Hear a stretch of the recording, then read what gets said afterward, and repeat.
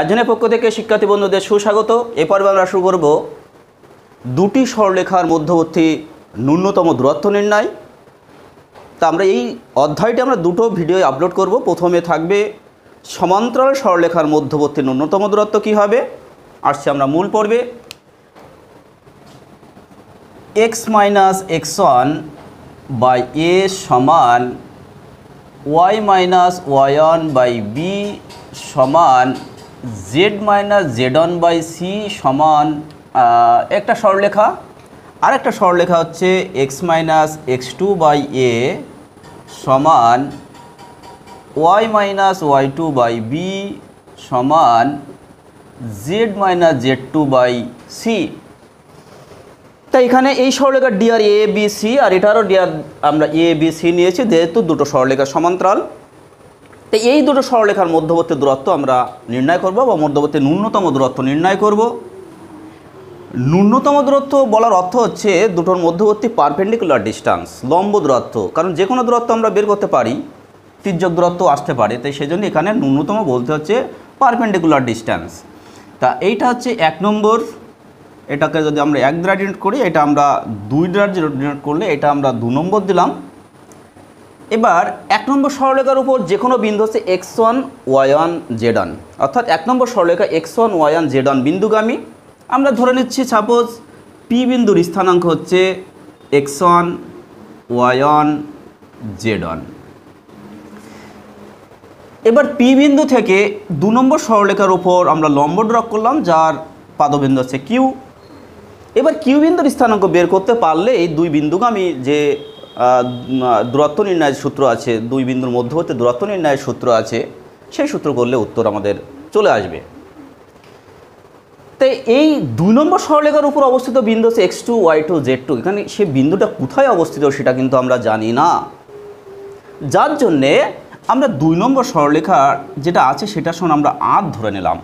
তাহলে অতএব x minus x two by a সমান হচ্ছে আর অতএব এখান থেকে পাবো এক্স সমান এক্স সমান পাবো আমরা কি? এক্স টু প্লাস হচ্ছে a r y minus y two by b সমান যদি আর হয়, সেখান থেকে আমরা পাবো ওয়াই সমান y two plus b r z minus z two by c সমান আর হলে এখান থেকে জেড সমান আমরা পাবো z two plus c r তাহলে এখানে এক্স ওয়াই এবং জেড আর এক্স ওয়াই জেড অর্থাৎ কি? সেটা যে কোনো বিন্দু। অর্থাৎ x two plus a r x two plus a r comma y two plus b r comma z two plus c r এই যে বিন্দু, এই বিন্দুটা হচ্ছে এই দু নম্বর সরলেখার ওপর অবস্থিত যে কোনো বিন্দু তা যে কোনো বিন্দু হওয়ার কারণ হচ্ছে আর এর বিভিন্ন মানের জন্য বিভিন্ন জায়গায় অবস্থান করবে। এবার আমরা ধরে নিচ্ছি যে কিউ বিন্দুতেও এই বর্তমানে অবস্থিত। তাহলে কিউ বিন্দুতে অবস্থানের জন্য আর এর যে নির্দিষ্ট মান পাবো, সেই আর এর মান এখানে বসালে আমাদের কিউ বিন্দুর স্থানাঙ্ক আসবে। তারপর আমরা দুই বিন্দুর মধ্যবর্তী দূরত্ব নির্ণয় করলে উত্তর চলে আসবে। তো এবার পি বিন্দুর স্থানাঙ্ক জানি, কিউ বিন্দুর স্থানাঙ্ক এটা জানি, তাহলে পি কিউ এর ডিআর পি কিউ সরলেখার ডিআর তাহলে পি কিউ সরলেখার ডিআর কী হবে? X two plus a r minus x one comma y two plus b r minus y comma z two plus c r minus z one আবার যেহেতু P Q সরলেখা এক নম্বরের উপরেও লম্ব, আবার দুই নম্বরের উপরে লম্ব। আবার এক দুইয়ের ডিআর হচ্ছে এ বি সি আর আমরা জানি কি, দুটো সরলেখা যদি পরস্পর লম্ব হয়, তাহলে তাদের ডিআরের প্রোডাক্টের সাম ইকাল টু জিরো হয়। অর্থাৎ এখানে আমরা কি পাবো? A into x two plus a r minus x one plus b into y two plus b r minus y one plus c into z two plus c r minus z one সমান হচ্ছে zero তাহলে এখান থেকে এ into এ আর করলে কি হবে? এ square আর এখানে হবে বি স্কোয়ার আর এখানে গুণ করলে হবে সি স্কোয়ার আর সেখান থেকে আর কমন নিচ্ছি। কমন নিলে হবে a square plus b square plus c square সমান a into x one minus x two. কেন x one minus x two? কারণ এখানে মাইনাস আছে, ওপাশে গেলে প্লাস হবে, এটা প্লাস আছে, মাইনাস হবে সেই জন্য হলো a into x one minus x two. অনুরূপে Y অনুরূপে হবে b into y one minus y two plus c into z one minus z two তাহলে অতএব আর সমান, তাহলে আর সমান কি হবে? আর সমান হবে, আর সমান হবে a into x one minus x two plus b into y one minus y two plus c into z two minus sorry z one minus z two divided by হচ্ছে a square plus b square plus c square এবার আমরা এই যে Q বিন্দু যেটা লিখেছি, এখানে আর এর মান এই তিন জায়গায় আমরা বসিয়ে দেবো। এই আর এর মান, এই আর এর মান বসালে কিউ বিন্দুর স্থানাঙ্ক পেয়ে যাব। এবার দুই বিন্দুর মধ্যবর্তী দূরত্ব নির্ণয়ের সূত্র। তা অবশ্যই তোমরা জানো দুই বিন্দুর মধ্যবর্তী দূরত্ব নির্ণয়ের সূত্র। আর হয়তো তোমরা মনে করছ এখানে বিশাল একটা ফর্ম এসছে। এখানে কিন্তু বিশাল ফর্ম থাকবে না, কারণ তোমাদের যে অঙ্ক থাকবে, সেখানে এ বি সি এর নির্দিষ্ট মান থাকবে। X one y one z ওয়ানের নির্দিষ্ট মান থাকবে। X two y two z টুরও কিন্তু নির্দিষ্ট মান থাকবে।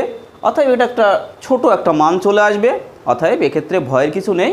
খুব সহজেই দুই বিন্দুর মধ্যবর্তী দূরত্ব হবে। অর্থাৎ সেই দূরত্বটাই হচ্ছে আমাদের দুটি সমান্তরাল সরলরেখার ন্যূনতম দূরত্ব নির্ণয়ের সূত্র।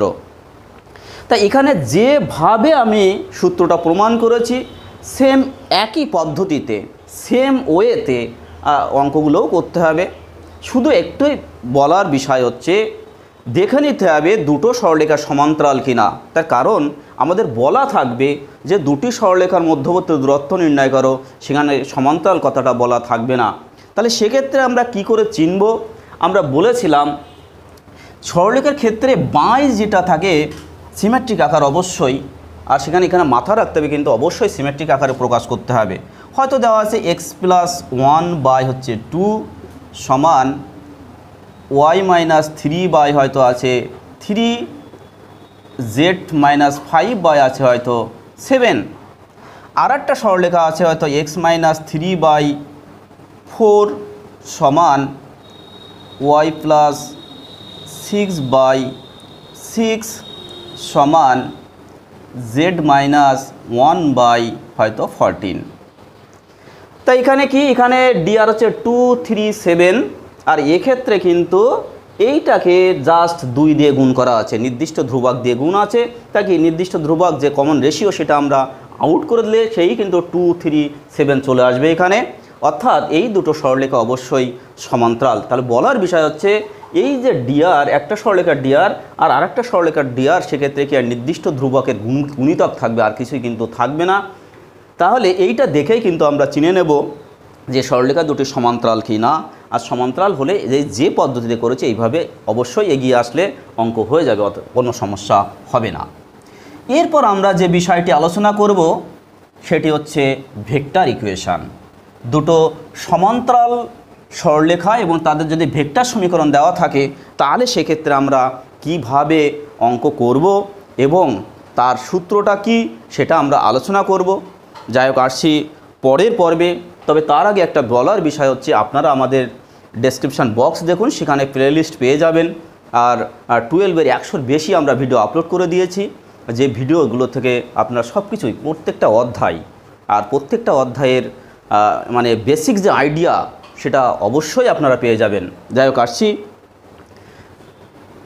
আর সমান একটা সরলরেখা দেওয়া আছে a one plus t into vector b আরেকটা সমীকরণ আর সমান a two plus s into vector b এখানে এই দুটো জায়গা দেখেই কিন্তু আমরা বুঝতে পারছি, এই দুটো সরলরেখা অবশ্যই সমান্তরাল সরলরেখা। তার কারণ কি? এই সরলরেখার সমান্তরাল ভেক্টর হচ্ছে বি আর এই সরলরেখার সমান্তরাল ভেক্টর হচ্ছে বি তাহলে দুটো সরলরেখা একই ভেক্টরের সমান্তরাল, অর্থাৎ এই দুটো সরলরেখা অবশ্যই সমান্তরাল।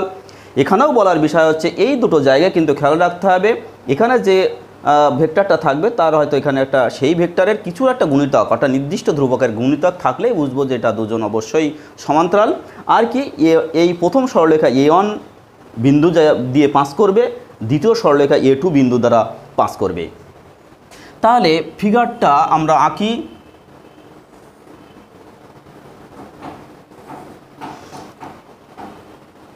এই হচ্ছে পি কিউ এটা হচ্ছে আর তা আমরা এইটা এক নম্বর সমীকরণ আর এটা আমরা দু নম্বর সমীকরণ দিলাম।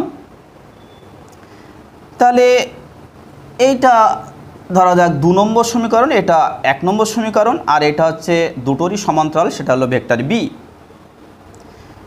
তা এই পি এলো এর উপর অবস্থিত যে কোনো বিন্দু আর তার সে দু নম্বর সরলেখার উপর অবস্থিত যে বিন্দু, সেই বিন্দুটা এইখানে অবস্থান করছে, সেটা আমরা ধরে নিলাম। পি বিন্দুতেই আছে, আমরা ধরে নিচ্ছি। এবার পি থেকে এর উপরে লম্ব ড্রপ করলাম, যার পাদবিন্দু হচ্ছে কিউ অর্থাৎ পি কিউ সমান আমাদের দূরত্বটা নির্ণয় করতে হবে। সেটাই হবে আমাদের নির্ণীয় ন্যূনতম দূরত্ব বা এসডি শর্টেস্ট ডিস্ট্যান্স আর এখানে আর যে কোনো বিন্দু, যার অবস্থান এখানে ভেক্টর এ ওয়ান এবার এই অ্যাঙ্গেলটা যদি থিটা হয়, তাহলে এ অ্যাঙ্গেলটা হবে পাই মাইনাস থিটা তাহলে অথবা এটা অনুরূপ কোণ হওয়ার জন্য এটাও হবে পাই মাইনাস থিটা তাহলে এবার আমরা এখান থেকে কি পাবো? এই এই ত্রিভুজ থেকে আমরা কি পাবো? সাইন থিটা সমান সাইন থিটা সমান আমরা পাবো p q by r p তাহলে এখান থেকে পি কিউ সমান আর পি ইন্টু হচ্ছে সাইন থিটা। তাহলে mod of vector p q সমান mod of r p into sine theta. এটা আমরা এক নম্বর সমীকরণ দিয়ে রাখছি। এরপর এই যে আর পি আর এই যে বি ভেক্টর, এই দুটো আমরা ক্রস প্রোডাক্ট করব। তাহলে mod of vector r p cross vector b সমান mod of r p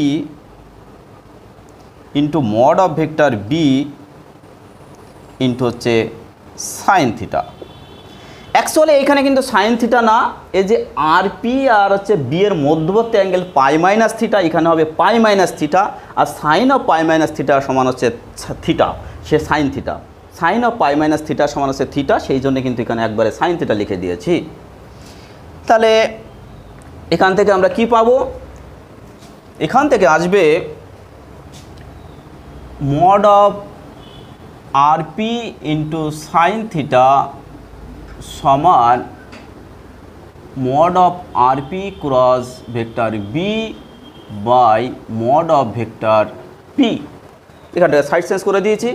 R r p sine theta r p sine theta সমান হচ্ছে পি কিউ তাহলে মড অফ পি কিউ সমান হচ্ছে আর পি আর পি অর্থাৎ কি? পি এর অবস্থান ভেক্টর মাইনাস আর এর অবস্থান ভেক্টর, অর্থাৎ a two minus a one cross হচ্ছে vector b divided by mod of vector b তাহলে এই চলে আসলো আমাদের পি কিউ এর ডিস্ট্যান্স বা ন্যূনতম দূরত্ব। তাহলে এক্ষেত্রে আমরা কীভাবে অঙ্ক করব?